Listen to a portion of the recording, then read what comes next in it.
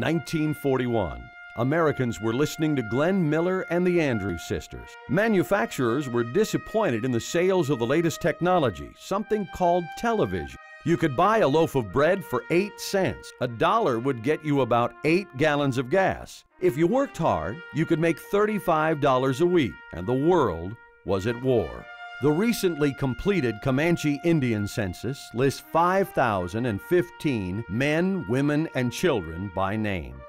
17 young Comanche men, all single, volunteer for the Army. Some of them quit high school to join their friends. Born in the United States, yet they weren't U.S. citizens until the Indian Citizenship Act of 1924. Still, they love their country. They are proud, eager, and willing to serve, to fight, and to die to defend the United States. The 17 grew up speaking Comanche. English was their second language. They were punished for using their native tongue. Some at Indian boarding schools called it a dirty language. But the Army needed these young men for a special mission. They were handpicked, known forever as code talkers. They would use the unwritten language handed down from one Comanche to the next for generations to help defeat the Germans. When you're in the Army, you do as you're told, do everything the Army way. But not this time. The Comanche code talkers were left to devise their own code, a code the Germans would never break. In 1942, one of the code talkers, 19 year old Larry Saupitty, chose to chronicle his Army experience in a diary, an entry every day. Saupitty and the other code talkers were training in 42. At the time, they didn't know that they would participate in one of the largest amphibious military assaults in history, landing on Utah Beach during the Normandy invasion. Only a handful of people have heard these words until now.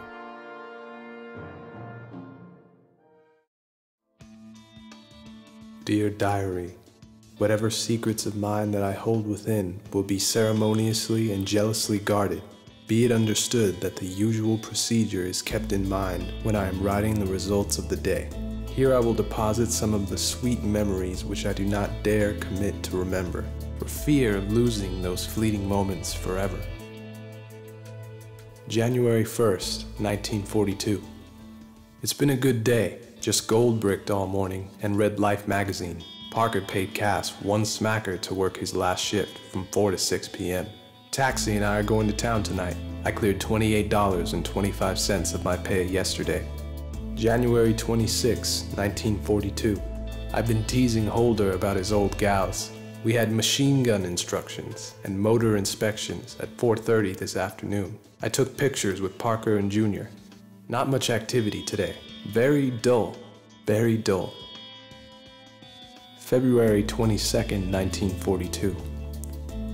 We had a pretty good dinner. I played pool with Burkett for a while, and then went to the movies with Charles. We saw You're in the Army Now, and then went to the canteen with Parker. Codynah thinks he's going to put a fast one over on me, but wait and see who laughs last. March 5th, 1942. It was a rainy day. I just came back from the boxing match. Mansu fought a damn good fight. He won by KO in the second round. It was the best boxing I've ever seen by him. Wahnee won by decisions. He missed a lot with his right. Charles's fight was forfeited.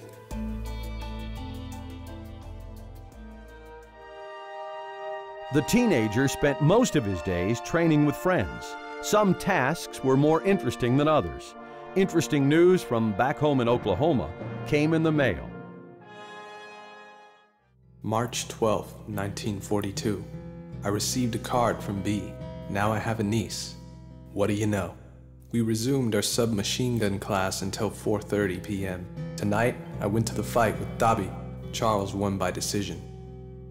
March 23, 1942. I received a card from Anadarko from Dad.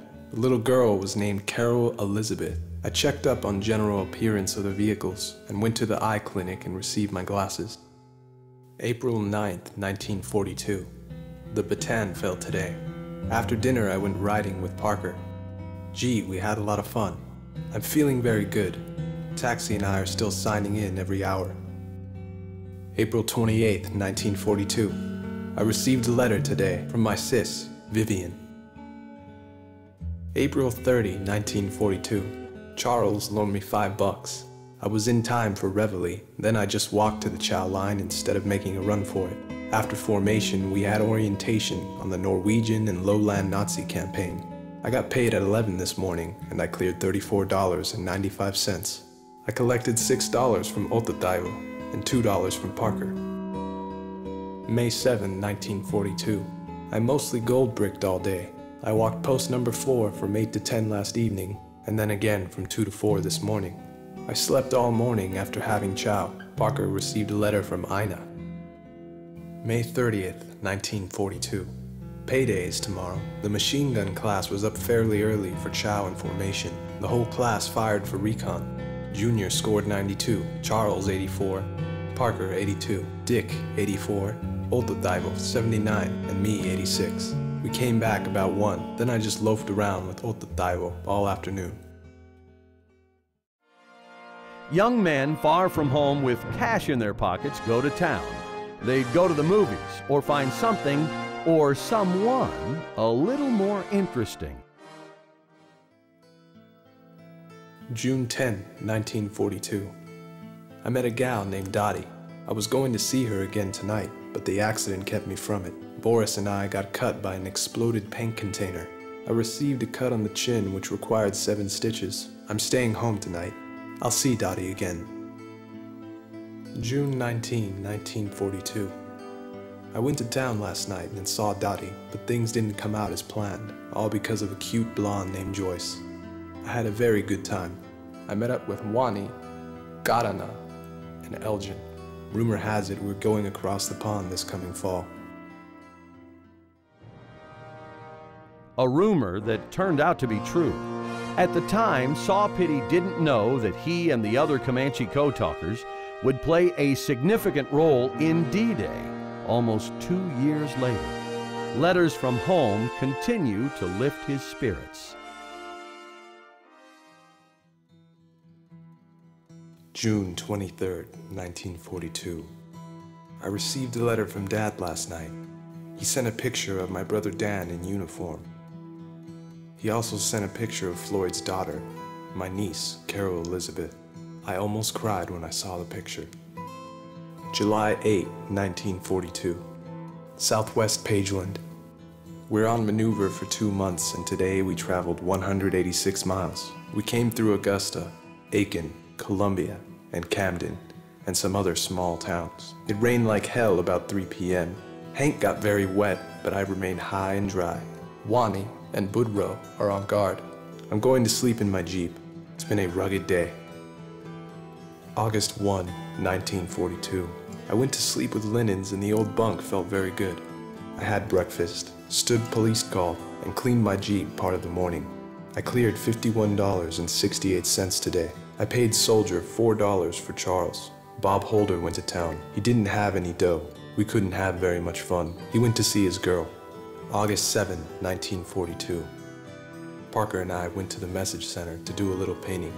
He sang a good song that I'm going to tell Ina about whenever we get home. August 28, 1942. I went to the USO show last night. It was a good show. After Reveille, we went to the theater to see a film on mechanized fire. After dinner, all the boys were called by the commanding officer. Parker, Charles, Yackeschi, and Tabbyetchy will take four weeks of intelligence training. September 17, 1942. I have a new title, Corporal Saupitty. I didn't go to town last night. I just wrote names in my album. October 2, 1942. After the 1330 formation, the boys were called out by the commanding officer. We studied our special code all afternoon under Lieutenant Dunaway. Mihecoby is leaving on furlough. October 8, 1942. Today was a very common day. After Reveille, we loaded into the vehicles and just waited to move out. We moved out at 1245 and arrived at our destination in the vicinity of the Stapleton Wren area. We prepared our own meals, which consisted of rugged corned beef hash, peas, and pears. We dug foxholes and slit trenches. It was a quiet evening. After months of training, the newly promoted Corporal Saupitty boards a westbound train for some R&R. October 12, 1942. Home, sweet home. I arrived in Oklahoma City at 0730 and took a bus to Lawton at 0815. I arrived in Lawton at 1155. I got a haircut, met George Benah and Jesse, and then took a yellow to Fort Sill Indian School. I met Rowena and asked for my little sister, Vivian, but she was out in the field. I paid the school personnel a visit, finally caught a ride to Lawton with Bull and Toot. I'm at home now. October 16, 1942. It's another cloudy day at home. My nephews Jimmy and Melvin came over early. After dinner, Melvin went hunting on the hills with me and my brothers, Carney and Floyd. We captured one small rattlesnake. We didn't find any bigger reptiles at the den, as expected. We hunted on top of hills and came home late this evening. A prayer meeting was held at home by Reverend Leon Moata. November 8, 1942. Nothing unusual happened today. There was a line for the buses, but I finally arrived to town and bought postage stamps at Walgreens. I also sent the Kodak to Brother Floyd. I met Booth, Dobby, Holder, Van, and Karina. I came home and copied code in day room until 0430. November 22, 1942. I went to bed early. Sergeant Shannon brought a rooster home and placed it on Yackeschi's bed. It raised a merry hell, which woke up the whole barracks. I woke up for dinner at 12.15. I had only a dime left, so I played blackjack with the boys. After winning 55 cents, I went to the show. November 24, 1942. I was hardly gold bricking. Wahnee is on furlough. I spent a hell of a cold night in the field. I found my peyote button. Thank goodness. Oh, praise Allah.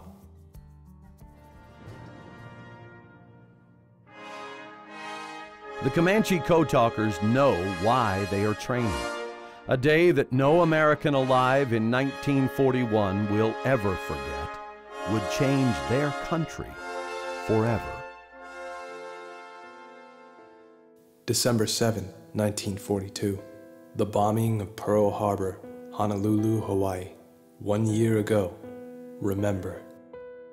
December 8, 1942. The formal declaration of war on Japan and the Axis countries happened one year ago today. December 26, 1942. We went to the parade field for the singing contest. We did lousy while practicing, but we were on the ball out there. What did he know? We won first prize. December 31, 1942.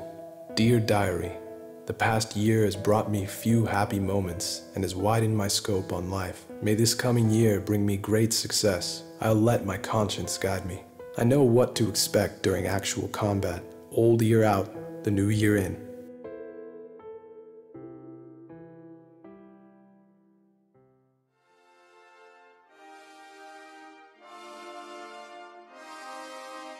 Saupitty and the Comanche Code Talkers would experience combat throughout Europe. A code talker close enough to see enemy troops and tanks with his own eyes, risking his life, relaying what he had seen, and one on the other end forwarding that vital information to the officers in charge. Several of the Comanche Code Talkers were wounded in battle, but they all came home, proud to have served their country their mission accomplished. The code they developed on their own was never broken.